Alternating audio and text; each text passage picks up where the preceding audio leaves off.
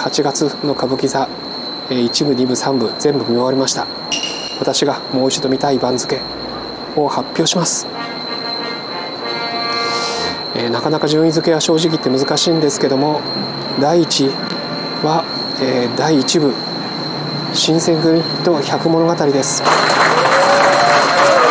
まあ、新選組実は品川駅のサイネージにも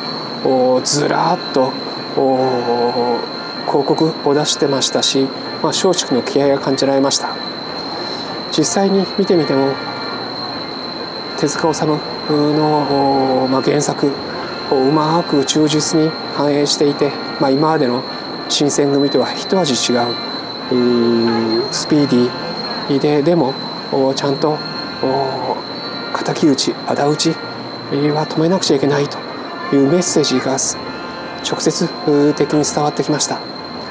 そして、えー、その後半に、えー、この「百物語」があって、えーまあ、本当に今伝統的な歌舞伎と、まあ、新しい新作がうまく融合していたと思います。第2位これは佃の夜嵐と浮世風呂です、えー、佃の夜嵐、まあ、古典歌舞伎をじっくりと楽しみたい人たっぷりとその世話物を楽しみたい方。にはこれはぴったりだと思います。本当にま芝居を見るという、まあ、不思議な因果ですが牢屋で知り合った2人が実は騙されていたと。そして親の敵を討つと。そして武田信玄の埋蔵金の前で戦うということでとても古典的でした、えー、その次の浮世風呂、まあ、これもまあ定番。で、えー、猿之助さんがまあ軽妙にそして、えー、まあ明るくいなせに踊っていたと思います。そして第3位、えー、これは矢じきたリターンズです。まあ笑いたい人にはこれが一番だと思います、えー、暑い夜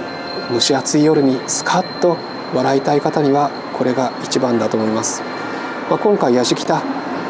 シリーズが5作目ということで、え、こなれてはいると思います、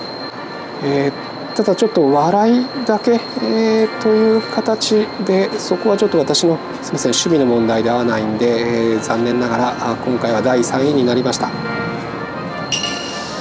ということで8月歌舞伎座客席も、まあ、フルで入れてるんで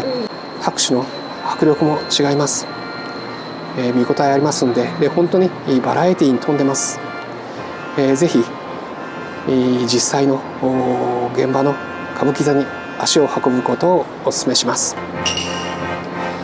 これからもチャンネル登録やいいね押していただけると皆様にいろんな和のエンタメ情報をお届けします。私が見て直後の感想を忌憚なく語りますんでぜひご期待ください。そして皆さんのこんな演目が見たいまた私は見たけどこう感じている私の123位は間違っている、まあ、いろんなあ意見感想ご批判どんどん結構ですから是非コメント欄にお書きください、えー、それでは8月歌舞伎座から失礼します。それではまた。